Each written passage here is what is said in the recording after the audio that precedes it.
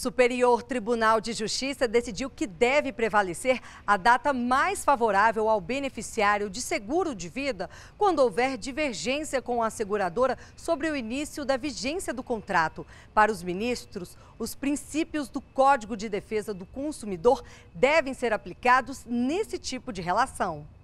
A mãe e o irmão de um militar morto em acidente de trânsito pediam na justiça o pagamento da indenização estipulada no contrato.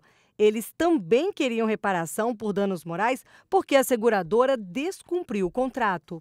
O militar que contratou o seguro de vida era oficial da Força Aérea Brasileira e faleceu em janeiro de 2011, aos 22 anos. Após 10 meses da morte dele, os beneficiários tentaram receber o valor, mas a seguradora negou o pedido, alegando que a data do sinistro foi antes do início da vigência do seguro.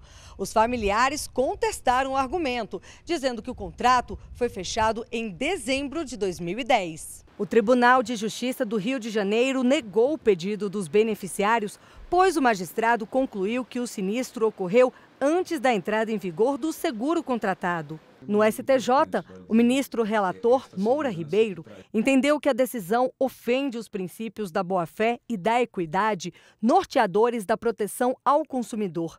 Ele observou que, nesse caso, houve a estipulação de duas datas diferentes vinculadas a uma mesma proposta.